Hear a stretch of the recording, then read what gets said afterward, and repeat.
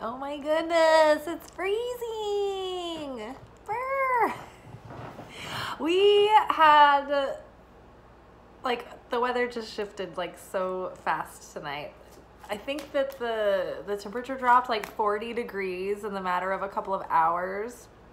Yeah, while I was at work, it started like raining and then sleeting and then snowing and we were like, "Oh my god, we're all gonna die because Nashville or Tennessee, we don't get a lot of snow. And so we're just not equipped with like salt trucks and things that like prepare the roads for people to drive in the ice and in the snow. And so even though it's like you I know how to drive in the ice and snow because I've lived in colder places at times, but it's just the, our roads like we don't have salt, we don't have all those things that make it safer. So it was uh, we were all just like on pins and needles, and so our last few reservations came in at eight thirty, and my table was the last one to leave and they were like, "Are you guys closed?" And I was like, I looked around and it was like literally like a dark, empty building. we were like cleaning and like putting the chairs up. They were the last table. They were they'd already been given last call and like that like the desserts pastry chef was about to close down their like station or whatever. So I just figured they understood that yeah we were closing. They're like, "Oh God, sorry, we didn't realize." And then they didn't even realize there was like a blizzard going on outside. Then they're like, oh my God. And so a few minutes later, like we closed, finished closing down the restaurant. I walk outside and my car is like a frost box. Like it's like an ice box. Like it's just an ice cube. And I was like, oh shit, it's going to take forever for my car to thaw out because I'm just going to sit there with the heat on and the defrost because I don't have a, an ice scraper. and I always just I forget to like make sure and have one until it's too late and then I'm like, "Oh, I'll just use an old gift card." And then and then it's like that's what happens every year. So I get into my car and I turn it on to crank up the heat and all of a sudden out of nowhere like two men are like around my car, like already like working on it and like brushing the snow away and like trying to scrape the ice. And I was like, what? Oh my God, this is like these angels have descended upon me. And I get out of the car to see what's happening because it's like all the snow is blowing around too. So it's kind of confusing and disorienting. And it's my table. They were like, they just happened to be parked right behind me and like I don't know whether they just took a chance to see if like somebody from the restaurant was like about to come out into the iced car. They just seemed really ready for it because as soon as like I came out, it's like they jumped out and they had the tools and everything ready. I was like, oh my god like angels arranged this you guys that that was um a hanukkah miracle Ooh, another hanukkah miracle um it's a very small one the, the other day i needed some red nail polish um to like touch up my nails to go to work and I did not have time to go out and run out and buy a new red polish. And I was out of polish. Like I was down at the end of all the bottles, so I couldn't get it to come out.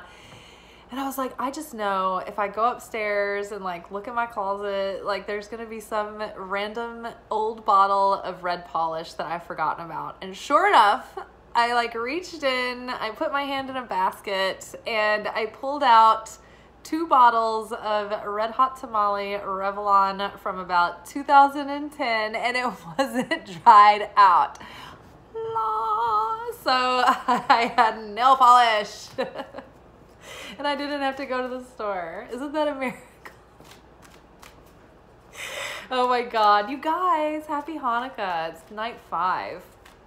We are here for our romance oracle reading. It is Thirsty Thursday. C'est jeudi et soif. Oh, look at, hold on, you guys. My friend at work bought me three really awesome Kabbalah books that are like they're like legit magic books, so they're rare. Like it's hard to find like books like this. But oh my god, I was like so moved. It was the sweetest, thoughtful thing. They're nice and heavy too. I'm looking forward to starting to read them. All right, so what do we need to know for the week ahead for our romantic lives? What is happening, if anything? What's good? Where can we get some? What do we need to know? What do we need to avoid? It's too big of a clump. I'm gonna just ask for one at a time. Ooh, see, see what that was. What is that? Oh, passion. Oh la la. Oh oui oui. Oh monsieur, madame. um, yay! Allow your heart to, and soul to sing with joy. I mean, I think regardless of whether or not you're feeling passionate about an individual, it's good to stoke your passion in general for life. Um, you know, I think that just being passionate about isolated things, like, I think it's better to just evoke a sense of passion within you that spills out into like every area. I think when you're trying to require like one thing to give you passion, then I think that's where you get in trouble. And I think that you you end up in a situation where you're trying to pull from something when really the source of what you want is within. And so instead of looking for a job that makes you feel passionate or a purpose or a calling that makes you feel passionate or a person or a relationship that makes you feel passion, you know, and passionate, try to figure out how what it is that it takes your soul to be nourished with in order to feel more passionate generally speaking. And then I think that you will have a different lens in which you're like looking at things and experiencing things and things will be more enjoyable. Things will be more meaningful. There will be more depth to them. Like okay. When there's like a foodie and a, and a wine person at the table and they go out to dinner with a person who's like not a wine person they don't care about food like they're just like mcdonald's people like they can both go to a restaurant the same and sit at the same table and the food person who's like oh my gosh i love all of this. I love the way everything you know like all the the pairings and like the flavors and everything layers upon everything else and they all bring you know each other out but like the mcdonald's person isn't gonna have that experience. Even at the same restaurant they're gonna be like yeah i don't get what the big deal is. Like do you just not have a hamburger? Like i just want to order a hamburger. Like can you yeah, a steak? Well done. Ketchup. And it's like this is the same like the person is always the same everywhere they go. And you can take them to the the most beautiful restaurant in the world that should evoke some sort of like culinary passion but it doesn't matter because they're a McDonald's person. They just want a burnt hamburger or like a burnt steak and some ketchup, no matter where, right? So it's not like like when you want your life to give you passion, then you're always going to be fighting a losing battle because it's always going to be a tank that's going to run empty. Um, it's part of being in the state of effect consciousness as opposed to cause consciousness. When we're in a state of cause consciousness, like we're not waiting for our circumstances to make us feel things. Instead, we choose the way that we want to feel and we discover what sort of things cultivate and sustain and nurture those feelings within us. And it has to do with living and being and doing and moving in a way that's authentic to you, right? It's like figuring out what what's really you, you know, and then like what doesn't matter to you. But then like double down on those things that really do matter and make sure that they are lifting you up and you know expanding you and enriching you. And the things that aren't authentic to you then don't waste your time and energy and resources on them. And because then that's how you feel burnt out in life. It's how you feel like you're running around and you're you know all your attention is spread thin and you're not getting any satisfaction right? Because you're not giving your attention fully. You're not present in the experience you're not using your senses, right? Have you thought about the fact that a sensual experience is something that you can be having all the time? It doesn't have to be romantic, it doesn't have to be sexual, But I think that for people who are more sensually aware and involved with their life, they have more passion, right? Ooh, I'm gonna get the good hand soap so that it smells wonderful when I'm like washing my hands, right? That person, they like to suck the bone marrow out of life, right? You know what I mean? So, you, see what I'm saying? So, cultivate passion even in the small things, even in the big things, right? For instance, um, I was I was arrested once. Um, well, more than once, but not for anything serious. they were they were all very minor, dumb. Like, how does anybody get arrested for this kind of thing, kind of situation?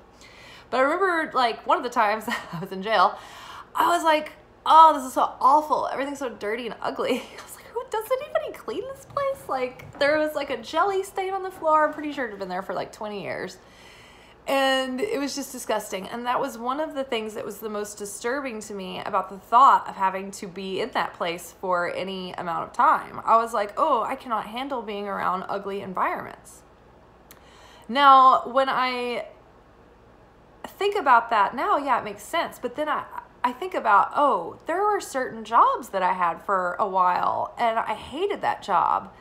And i forgot that part of the reason i hated it was because it was such an ugly place to be and I didn't have any visual stimuli around all the time, and there was no like nothing warm about the environment. It was just like hideous, and that made me really miserable. And so it's weird. It's like if you don't know what makes you tick, then you don't realize what makes you feel passionate, or how, however, what or rather, what makes you not feel passion, right? What takes away your passion? What makes you feel dried up and turned off, right? So consider that. Um, and then also, you you may be meeting a uh, you know a little, little hottie patati. Let's hope. Maybe. Uh, but stoke your passion for yourself, and then you'll be more like vibing passion, and then you'll be like sending out that that passionate signal, and hopefully attracting something that matches your authentic vibration. All right, what else do we need to know about this passion? Ooh, I got two cards that fell out. Oh my god, it's like if is it the same people? She's wearing the like similar like she looks very similar. These people Oh, their heaving embrace. This art, it's too much. Um, past life relationship, you have known each other before. Okay. Hmm. Maybe something's developing here. Okay, so maybe there is something, some passion stirring or maybe it's coming. Maybe this is not a person that you know yet. But something will stir your passion. and it could be that you have known this person before or your souls already are getting acquainted even though your physicalness isn't um, or you may have already met in the past in this life it's possible okay so what else came up with it? Ooh, let go of control issues. Allow the situation to unfold naturally. Hmm. well, what do we have here, people? What have we got here? A situation feels like it's developing. You know, I always try to be like super just like spiritual about this and try not to get too sensational, but I almost feel like this might be literally like so there's somebody ooh New love. I was gonna say literally we might be meeting someone, or there might be somebody with a big crush. Okay, so new love. A new person has stirred your romantic feelings, and make the effort. Great love is worth taking the steps that you're guided to take. All right, people. All right. It's time to have that John Cusack moment where you hold up the boombox. Okay, we've got passion, we got past life. Somebody might be coming back around that you've either known before in the past or in a past life. Or your souls may already be like in cahoots trying to figure out how to like get your bodies to cross paths. Let go of control issues. The best thing to do to let spirit and your angels help guide you towards these meetings is to not be too rigid or controlling. For instance, if you're trying to get ready to go do something and for some reason you just keep stalling or something keeps slowing you down, maybe it's because you have to like the universe is trying to time you correctly. But if you're being super controlling about that, then you're not allowing that timeline to like adjust. You're going to be like trying to make it on t- on the time that you had set already. Do you see what I'm saying? Or like for instance, if plans change or something, right? And it, you something falls through, like don't be too rigid. Just be willing to go with the flow and see where see where life is taking you um, invite the universe to help you with your love life and to like steer you in the right direction but when you do that you kind of you can't um, question every step you can't fight and reason and like look for logic in every step you just kind of have to trust like if you get a ping or like um, an impulse or something to check something out or go somewhere or send someone a certain message or something like that. Like maybe just follow up and see, just see, just take a chance. Make the effort. Um, new love is wanting to come in. So, you know, I know sometimes it's hard to make that move, but if it goes horribly wrong, then at least you're like got that option out of the way and you can make way for the new love that's trying to come in. And apparently, it's gonna be very passionate. Look, look at these. Oh, not that guy. He's like, he looks like he has control issues. The Sultan over there. Who are we? Oh wait, where's our? Oh yeah. That's what I'm talking about. This guy can't get over it. this is like romance novel cover central.